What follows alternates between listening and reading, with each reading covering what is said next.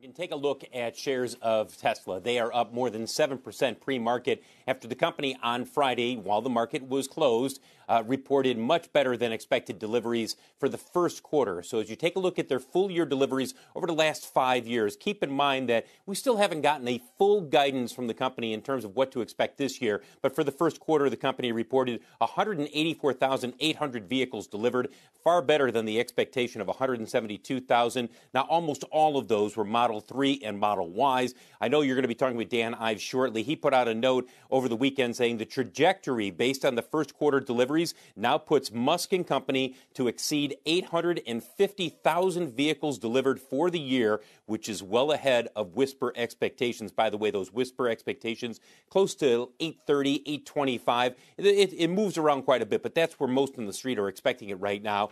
And by the way, as I said earlier, as you take a look at shares of Tesla, the delivery guidance for this company this year has been vague. All they said is that they expect a 50% increase in deliveries annually. Give or take, some years will be a little more, some years a little less. So we haven't had a definitive number from Tesla so far. Did you see this over the weekend? I want to shift gears and talk about General Motors and the new GMC Hummer SUV. Yes, you might be saying to yourself, wait a second, didn't they already show us this? Well, what they showed us was the electric SUT because it was a truck. It is a truck and it has a flap in the back. This is an SUV. It will come out in 2023. The first editions will start at $110,000, and the head of GMC believes the market is just starting to heat up for EVs.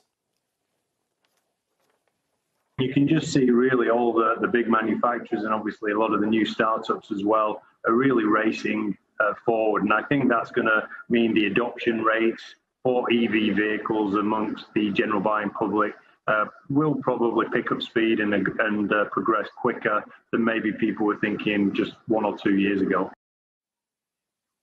As I mentioned, these Hummer SUVs, they will roll out in 2023. Look at this chart for General Motors over the last six months. A nice move higher this is the beginning of this cadence of vehicles, guys, that we've talked about that General Motors will be rolling out starting later this year with the Cadillac Lyriq and then progressing, including these Hummer SUTs and SUVs, as well as other electric vehicles. Really, the start of GM rolling out more SUVs and, and trying to make a true play when it comes to electric vehicles over the next couple of years.